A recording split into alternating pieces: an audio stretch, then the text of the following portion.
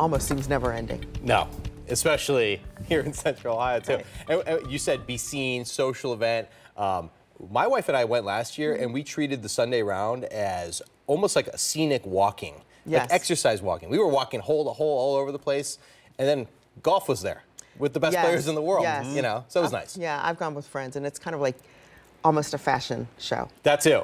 Yeah. Also, And while it's there's in some golf. Dublin, out of all places. Yeah, I mean, it's one of beautiful. the one of our nicest towns. I love Dublin. Yeah. such a nice town. Yeah, it's Uh, nice. Weather-wise, for the tournament, could be a little bit iffy leading up to it. On Wednesday, we have some very heavy rainfall, but then things really push on out of here.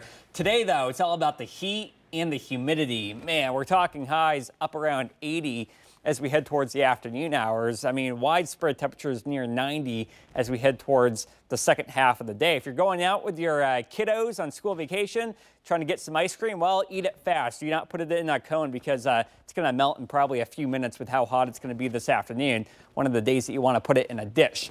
Temperatures over the next few days will be dropping. Why is that? Well, we have a big old cold front coming in on Wednesday. 80% chance of rain, 20% today. Then as we head towards uh, Thursday and Friday, looking at about a 20% chance of rain, give or take. Now, the common denominator for Thursday and Friday is that many of these rain chances happen to our north. And then the further down to the south that you live, things will be a lot quieter and drier.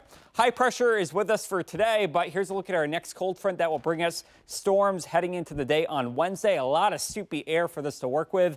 That moves out of here on Thursday, and look at the wind. Now the wind is going to be coming in from the northwest, making things feel cooler, more refreshing, just overall more pleasant and more relaxing. Also, look here at the humidity forecast for today. Ahead of the cold front, you have south winds. So now that air is coming in from the Gulf of Mexico. We got that south wind. The humidity will be oppressive for today. But behind the cold front, we have refreshing air that's going to spew in less humidity going into Thursday and Friday. We're still looking at dew points modestly in the 50s, maybe low 60s, but all the real soupy, uncomfortable air is going to be down towards uh, the deep south. Heading out there today, we're not looking at a whole lot going on, maybe a pop-up storm this afternoon. What I really want to jump to, though, is the impact weather, which will come on your Wednesday. And here's a look tomorrow at 10 a.m. Things are pretty quiet here in the morning, but as we head towards the afternoon by about 2 p.m., now we're getting those darker yellows and reds on the map. The heavier storm cells begin to move on through. And then as we work our way towards 6 p.m. in the afternoon, look at this right here to the east of Mansfield, southeast of I-71, some really strong cells beginning to develop. And then by the afternoon, by 10 p.m., it's gone. And then we have that pleasant air that moves on in for Thursday and Friday.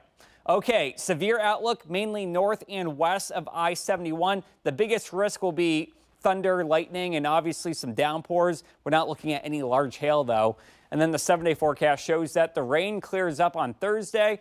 If you're heading off to the Memorial Tournament this weekend, we will be dodging a few storms, but it looks like they'll be isolated at best. And then by Monday and Tuesday, we warm back up to the low 80s, mid 80s as we get a week out from today. The humidity returns as we get the return of that south wind, but it looks like we have a nice few days late this week where things will be cooler and more refreshing.